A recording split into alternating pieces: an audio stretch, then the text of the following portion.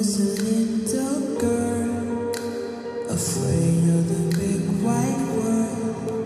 She grew up within her castle walls. Now and then she tried